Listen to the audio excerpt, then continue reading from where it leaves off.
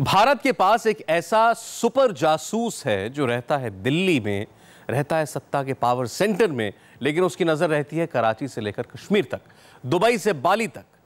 ऐसा सुपर जासूस पहले टारगेट सेट करता है और फिर ऐसा प्लान तैयार करता है कि दुश्मन भौचक्का और उसका दी एंड तय माना जाता है। कौन है ये सुपर जासूस और क्यों कहा जा रहा है कि उससे बचना मुश्किल ही नहीं, नामुमकिन है, आप भी देखिए।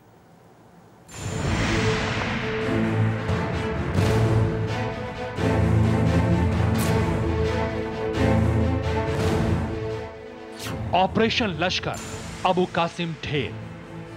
ऑपरेशन अंडरवर्ल्ड, छोटा राजन गिरफ़्तार। Operation Hafiz Saeed, mission on. Operation Dawood, mission on. वो कश्मीर घाटी में मौजूद लश्कर के टॉप कमांडर अबू कासिम का ढेर होना हो। वो बाली में अंडरवर्ल्ड डॉन छोटा राजन का सलाखों के पीछे पहुँचना हो। वो कराची में छिपे डी कंपनी के सरगना दाऊद इब्राहिम को पकड़ने का प्लान हो। ये सब हो रहा है एक शख्स के इशारे पर। ये सब हो रहा है देश के सबसे बड़े सुपर जासूस के इशारों पर।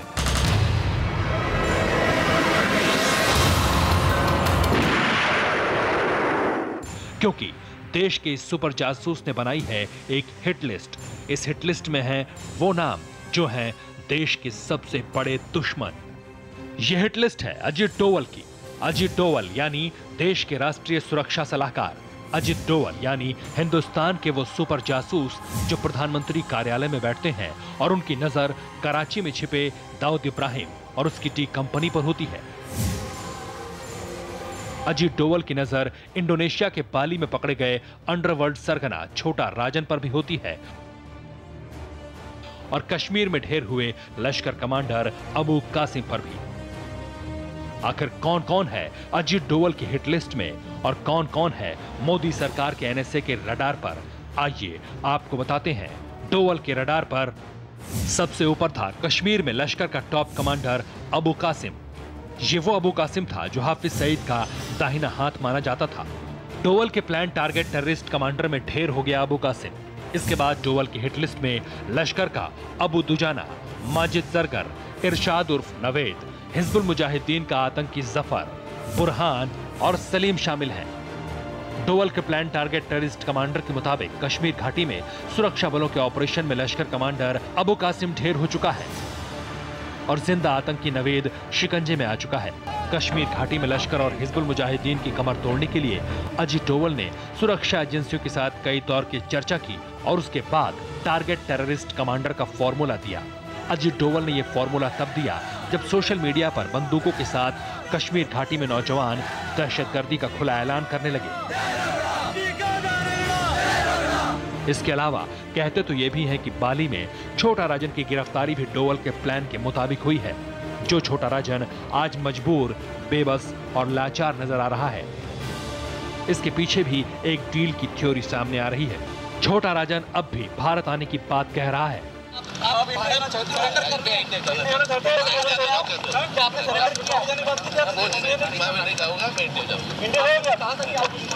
आपको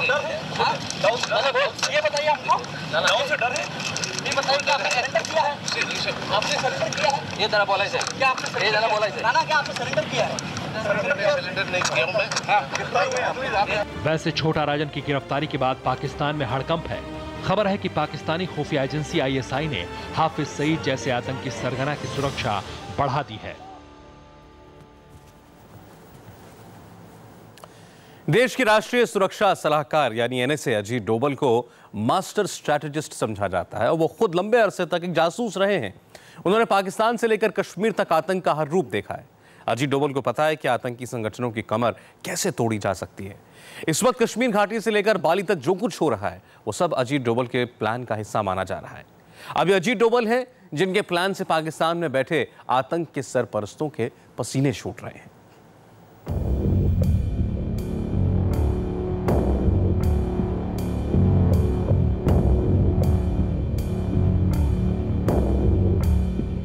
देश के राष्ट्रीय सुरक्षा सलाहकार और प्रधानमंत्री नरेंद्र मोदी के जेम्स बॉन्ड, अजीत डोवल के ऑपरेशन आतंक के द एंड का सबूत पेश कर रही है ये तस्वीर।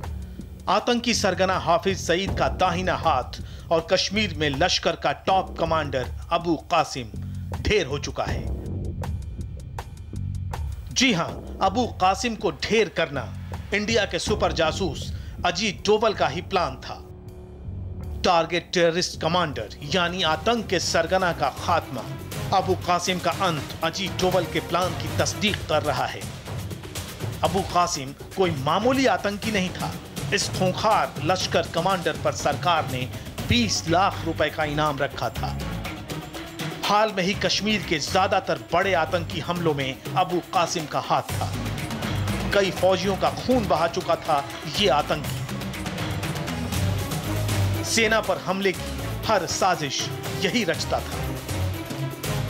हिंदुस्तान में लश्कर का सबसे बड़ा चेहरा था अबू कासिम, लेकिन अब ये मारा जा चुका है। सेना और जम्मू कश्मीर पुलिस ने 20 लाख रुपए के इस इनामी दहशतगर्द को घेर कर मार गिराया। लेकिन इसके एनकाउंटर के पीछे उसी सबसे बड़े जासूस का दिमाग है। जिसने इसे अपने हिट लिस्ट में पहले नंबर पर रखा था। करीब तीन महीने पहले अजीत डोवल ने जिन आतंकियों की लिस्ट तैयार की थी, उनमें सबसे ऊपर अबू कासिम का ही नाम था और अब उसका खात्मा हो चुका है। तो अब सवाल उठता है कि अबू कासिम की मौत के बाद क्या कश्मीर में लश्कर का काउंटडाउन शुरू हो चुका है? क्या अब लश्कर की कमर तोड़ने का ऑपरेशन शुरू हो चुका है? और क्या अबू कासिम के बाद हाफिज सईद का नंबर है।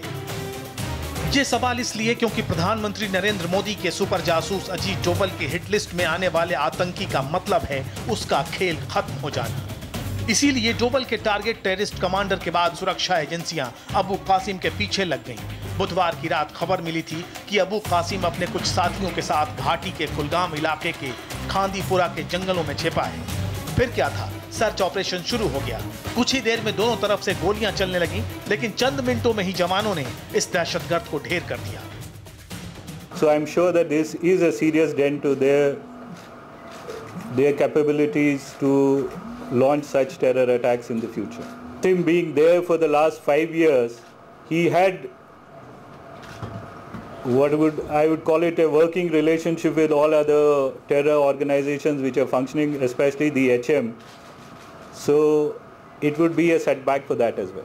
Abu Qasim का खात्मा बड़ी कामयाबी है क्योंकि एनआईए की जाँच में खुलासा हो चुका था कि 5 अगस्त 2015 को उधमपुर में बीएसएफ के काफिले पर जो आतंकी हमला हुआ था उसका पूरा प्लान अबू कासिम ने ही बनाया था उसी ने आतंकियों को हथियार मुहैया कराए थे, जिन्होंने ताबड़तोड़ फायरिंग कर दो जवानों को शहीद कर दिया था। अबू कासिम की साजिश का खुलासा खुद हमले में ज़िंदा पकड़े गए आतंकी नवेद ने किया था। जून 2013 में भी अबू कासिम ने सेना के काफिले पर बड़ा हमला किया। कश्मीर के हैदरपुरा में श्रीनगर बारामूला नेशनल हाईवे से गुजर रहे काफिले पर ताबड़तोड़ गोलियाँ बरसाई थी, जिसमें आठ जवान शहीद हुए थे। अबू कासिम के हमलों को देखते हुए ही डोवल ने इसे हिट लिस्ट में नंबर एक पर रखा था। पाकिस्तान का रहने वाला अबू कासिम हिंदुस्तान में लश्कर का सुप्रीम कमांडर था और पाकिस्तान से घुसपैठ कर आने वाले आतंकियों के रहने खाने से लेकर उन्हें हथियार मुहैया कराने तक की ज़िम्मेदारी उसी के कंधों पर थी। लिहाजा उसे खत्म करना अजीत डोवल के लिए सबसे ज़रूरी था। अबू कासिम कितना खतरनाक होता जा रहा था, इसका अंदाज़ा इसी बात से लग जाता है कि इसने इस साल 7 अक्टूबर को अल्ताफ डार नाम के सब इंस्पेक्टर की हत्या कर दी थी। इस हत्याकांड को अंजाम इसलिए दिया गया था क्योंकि अल्ताफ लगातार अबू कासिम पर नज़र रखे हुए थे। बहरहाल, अजीत डोवल की हिट लिस्ट में पहले नंबर पर शुमार अबू कासिम अब मारा जा चुका है और बाकियों का नंबर भी बहुत जल्द आने वाला है। यानी पाकिस्तान की सरपरस्ती में बैठा हाफिज सईद और दाऊद इब्राहिम भी अब महफूज नहीं। हम बात कर रहे हैं अजीत डोबल की, जो एक तेज दिमाग रखने वाले मास्टर प्लानर हैं। अजीत डोबल वो शख्स हैं जिनके नाम से आतंक के सरपरस्त थर्राते हैं। पाकिस्तान जानता है कि अजीत डोबल अगर एक बार किसी के खात्मे का इरादा कर लें तो फिर उसे अंजाम देकर रहते हैं।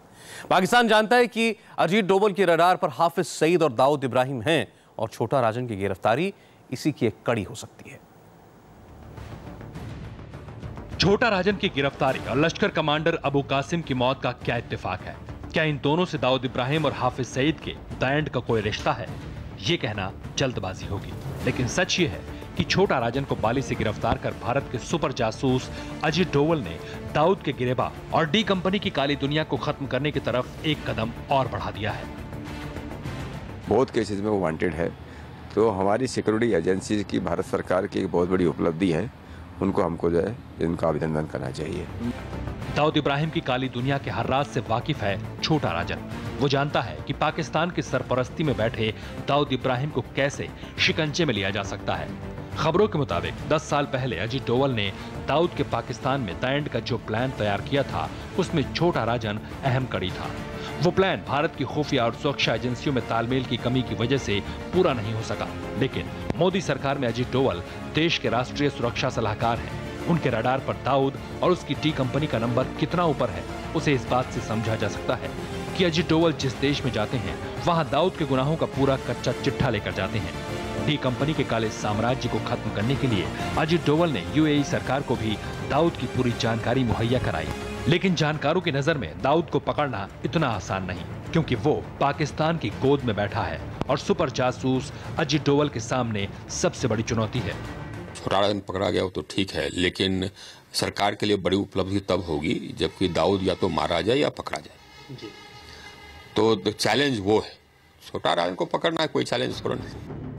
बेशक वो दाऊद इब्राहिम हो या फिर हाफिज सईद, दोनों को पकड़ना या खत्म करना मुश्किल है, क्योंकि हिंदुस्तान के दोनों दुश्मन पाकिस्तानी हुकूमत की सुरक्षा के महफूज साय में रहते हैं। लेकिन अजीत डोवल, दाऊद और हाफिज सईद की कमर तोड़ने में कोई कसर नहीं छोड़ेंगे, ये पाकिस्तान भी जानता है।